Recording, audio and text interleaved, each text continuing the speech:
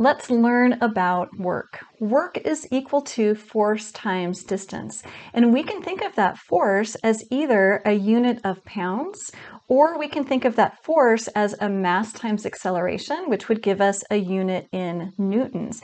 Now, in my example here, we are given feet and we are given pounds. So we are going to be looking at force as a unit of pounds. And we're also going to be looking at work then in foot pounds. Knowing your units is really, really helpful to setting up the integral. Speaking of the integral, the formula that I've got right here for work is really if we have a fixed force or a fixed weight. In this case, we've got a rope in the first example. And in this second example, I've got a rope with a box attached to it. So that rope varies in weight. The longer the rope, the heavier the rope is. When my force or weight varies, we need some calculus. So work becomes the integral of force dx, dx being the distance. So as I continue to look at this example, I'm going to be focusing on lifting the rope only first, and then we'll get to the rope and weight. Let's start by putting the force together for our rope. We really need force to be a unit of pounds, but what we are given, instead of just a weight, we are given this weight density, two pounds per foot. That makes a ton of sense, right? Because the longer the rope, the heavier it's going to be. So I can start to put this force together by taking two pounds per foot but I know that I need the unit of force to be in pounds.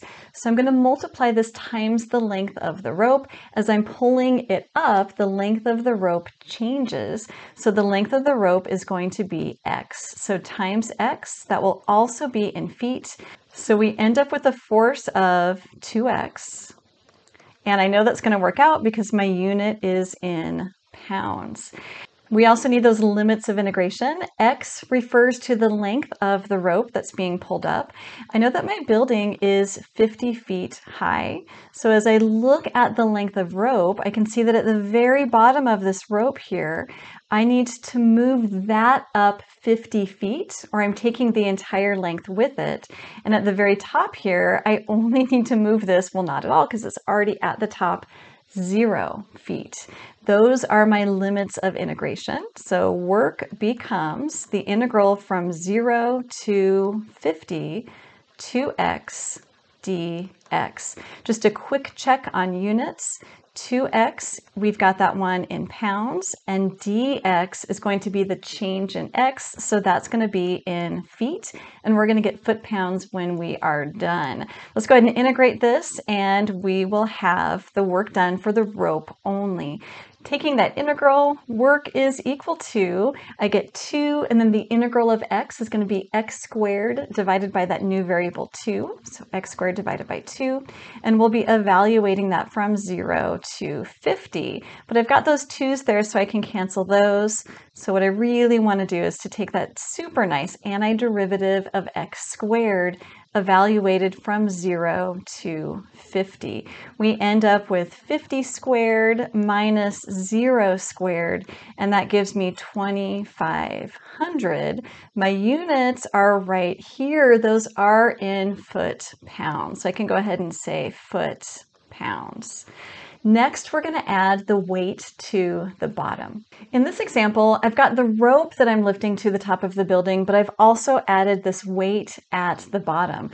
So I really want to think about this work problem as two separate pieces. So I've got the rope plus the box. Well, we just did the rope. Everything here is the same. That rope had a variable weight, right? The longer the rope, the heavier it was. This one was a variable weight or force. So we ended up using that integral 0 to 50 2x dx, and we ended up with 2,500 foot-pounds here. Now, the box is a different story. The box is not a variable weight. It doesn't matter how high I've lifted it, it still weighs 20 pounds. So that box is a fixed force or a fixed weight. So when I do this calculation, I'm just going to use the formula force times distance. I don't need the integral because it's fixed. So that's going to be force times distance. Let's go ahead and finish this one through.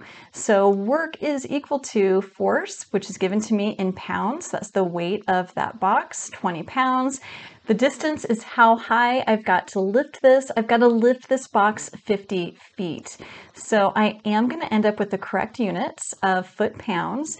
50 times uh, 20 is equal to 1,000 foot pounds. The total work done then is the work needed to lift that rope plus the work needed to lift that box, which is going to be that 2,500 plus 1,000, and we're going to get our 3,500 foot pounds. Take a look at this next video. It's also going to help as you're working through these. Thanks so much for watching.